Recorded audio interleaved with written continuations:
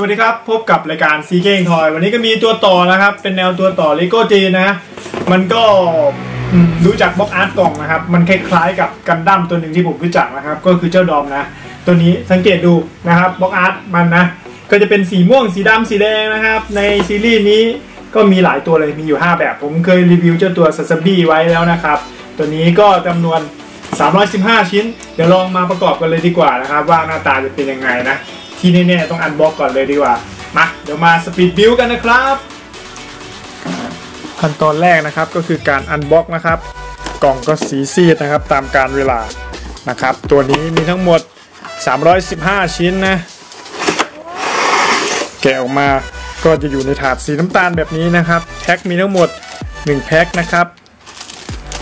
แพ็คที่ 2 แพ็คที่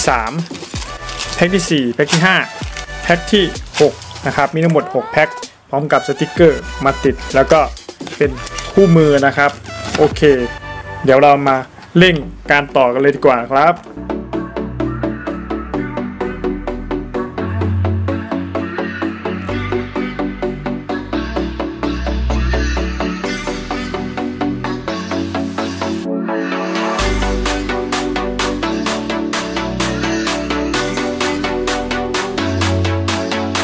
หลังจากต่อแล้วนะครับขั้นตอนต่อไปก็คือการประกอบร่างนะครับ สังเกตว่าผม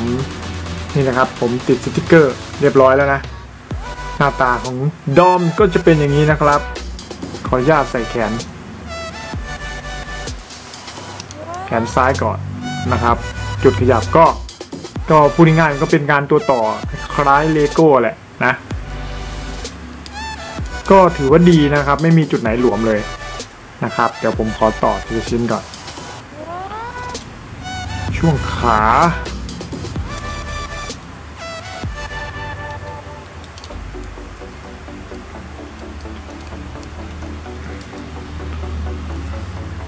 ประกอบเข้าทีละชิ้นนะครับอ่าประกอบเสร็จแล้วดูนี่เทียบกับมือนะครับ หัวหมุนได้นะครับ เจ้าดอมนะครับ มือก็หมุนได้ 360 องศานะครับ ตรงนี้ก็จะเป็นจุดขยับนะก็จะมี 2 จุดตรงนี้นะครับ คราวนี้ผมติดสติกเกอร์เรียบร้อยแล้วช่วงขาให้ดูนะครับ ช่วงหลังก็จะมีเป็นแบ็คแพ็คนะครับ เป็นเหมือนท่อไอพ่นนะ โอเคเลยนะ ได้มาในราคาเอ่อ120 บาทนะครับ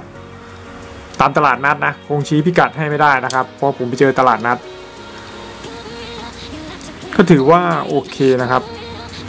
ขยับคือมันเอามาเท่ๆได้อยู่นะ ในการวางในตู้โชว์นะครับ คือมันเป็นลักษณะเป็นตัวต่อ ราวนี้ก็จะมีเป็นดาบนะครับ เป็นดาบซีเบอร์นะครับ อ่า ตรงนี้ก็สามารถเสียบตรงนี้นะครับ ผมลองเสียบดูก่อน นี่นะ เป็นลักษณะนี้นะครับนอกจากเสียบได้ปุ๊บก็ยังสามารถถือปืนนะครับ ตัวนี้ก็เป็นปืนแนวไรเฟิลนะครับ แนวกันพลานั่นแหละนะ วิธีใส่ก็นี่นะครับ ใส่ตรงข้อมือ นะครับ ก็ถือแอคชั่นเท่ได้นะเดี๋ยวผมลองแอคชั่นก่อน นี่ครับประคับใส่บ่านะ เออ ก็โอเคนะ ในราคาเนี่ยนะครับ ราคา 120 บาทนะครับ ให้ดูนะครับ ขอเอากล่องมาบัง ให้มันเป็น background ก่อน นี่นะ โอเคเลยนะครับ แล้วก็เทียบนี่กับขนาดมือผมนะ ตัวก็ใหญ่นะ ไม่ได้เล็กนะครับแถมมีดาบ beam saber นะครับ ตัวนี้ถ้าเกิดตามหน้ากล่องเนี่ยเขาบอกเป็น combat data ก็จะมีรายละเอียดการต่อสู้การอะไรแบบนี้ก็ทำให้มันเป็นเอ่อคลิปมีกนะครับ ดูแต่ละตัวนะผมเคยรีวิวเจ้าตัว Sazabi ไปแล้วนะตัวนี้นะครับ นี่นะ ก็ถือว่าเท่เลย เดี๋ยวซูมให้ดูใกล้ๆอีกนิดนึงนะ ก็ตัวต่อที่จริงก็เป็นตัวต่อคล้ายๆเลโก้นะครับ แต่มันเป็นงานจีนนะนะครับรายละเอียด detail เนี่ยถือว่าใช้ได้ แล้วก็แน่นนะ ไม่มีหลวมนะตัวเนี้ยนี่นะครับ คือเอาไปยืนเท่ๆได้นะครับ ยืนประดับตู้ได้เลยเอาไปเนียนกับกันพานะครับ คือเรามีลักษณะตัวนี้ตัวนี้ถ้าเกิดถ้าเกิดดูในรูปแบบมันก็เหมือนคล้ายๆของเล่น8บิตนะเพราะว่าลักษณะตัวจะเป็นรูปทรงเลขาคณิตนะครับ เป็นเหลี่ยมเนี่ยนะยืนท่านี้เท่เลย แล้วก็แน่นนะครับ จุดไหนมันหลุดก็ต่อเข้าเหมือนเลโก้นะครับเนี่ยคือมันจะเป็นจุดเลโก้นะแต่ผมว่ามันแน่นพอสมควรอยู่นะ ไม่มีหลวมหรือถ้ามันจะหลุดก็หลุดกับการขยับของเราอะนะครับนี่นะครับถ้าเกิดชอบถูกใจก็กดไลค์กดแชร์ให้ช่อง Seekang Toy ด้วยนะครับเดี๋ยวจะหาของเล่นมา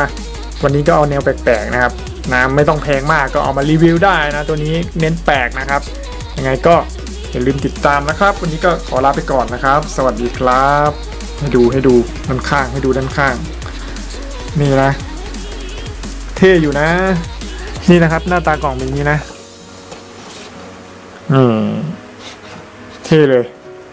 Storm สวัสดีครับ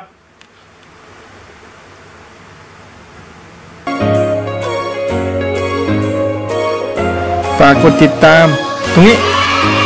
ช่องซีเก้งทอยด้วยนะครับ